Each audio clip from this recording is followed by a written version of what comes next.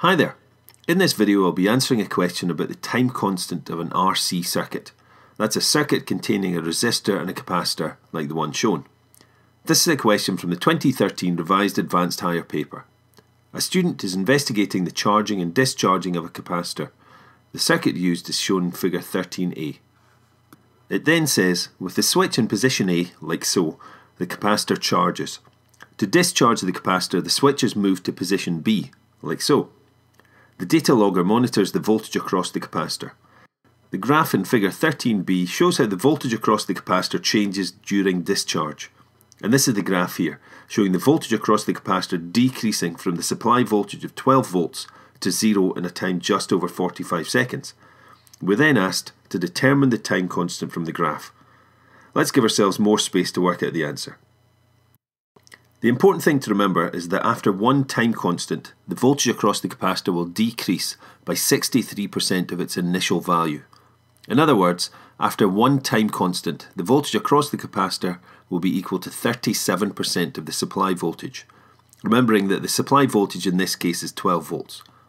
That gives us 0.37 times 12, which equals 4.44 volts.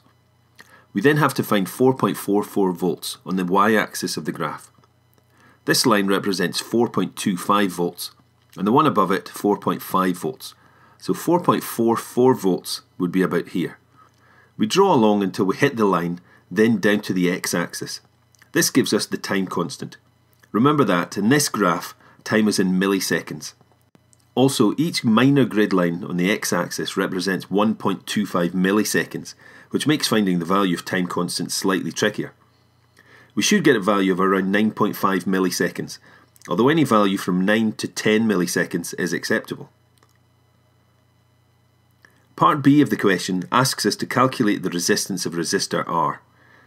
We've seen how to find the time constant from a graph of voltage against time as the capacitor discharges.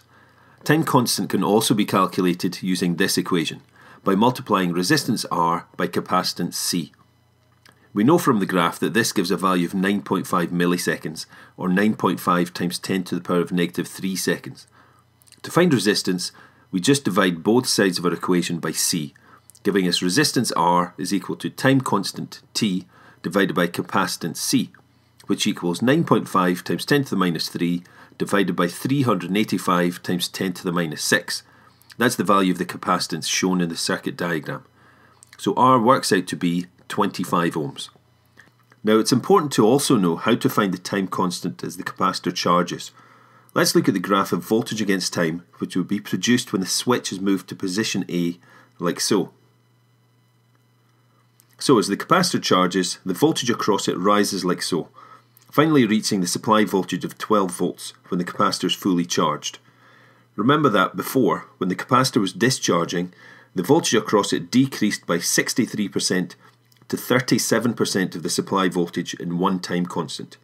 Here, though, the voltage increases from 0 volts to 63% of the supply voltage in one time constant.